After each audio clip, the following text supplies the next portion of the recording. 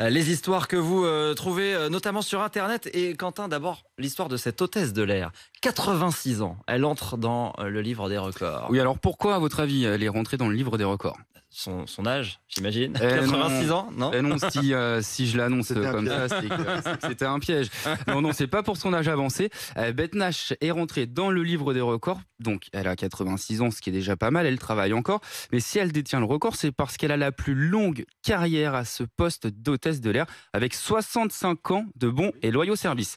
Elle a débuté en 1957 à l'âge de 21 ans. Oui, donc c'est quand même un petit peu lié à son âge, mais c'est surtout sa, sa longue carrière qui, qui, euh, qui fait son, son record. À 86 ans, elle est donc toujours en poste. Oui, toujours en place, contrairement aux pilotes qui, eux, sont forcés de prendre leur retraite à 65 ans. Les hôtesses et stewards n'ont aucune obligation de quitter euh, leur poste à un certain âge. La seule condition, c'est de se rendre régulièrement euh, à la formation des agents de bord.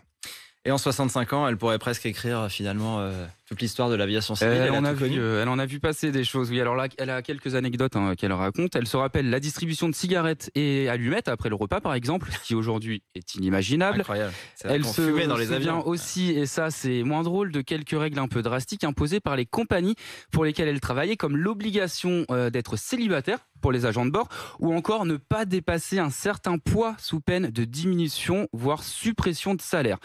Et pour être sûr de ce euh, respect euh, des règles, les hôtesses étaient pesées comme les bagages avant chaque vol.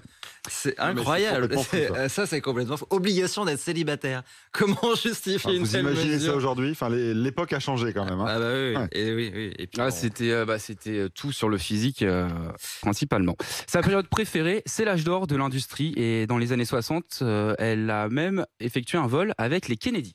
Waouh Euh, 86 ans, 65 ans de service, euh, elle a quand même prévu de prendre sa retraite un jour, euh, Euh, cette dame Pas tout de suite, comme le rapporte ouais. la chaîne ABC7, tant qu'elle est en bonne santé, aucune envie d'arrêter. Et puis au niveau de l'employeur American Airlines, aucune envie de se séparer d'elle. hein. C'est devenu une figure emblématique de la société. C'est la mascotte. C'est la mascotte. Exactement. Et les clients l'adorent. sur elle dans un avion. euh. Alors après, c'est le système américain. À 86 ans, ça leur pose pas de problème de, de garder Ah ouais, ouais, un, salarié euh, aussi longtemps.